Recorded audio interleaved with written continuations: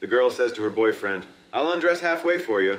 Which part do you want to see? The boyfriend thinks for a moment and says, The front.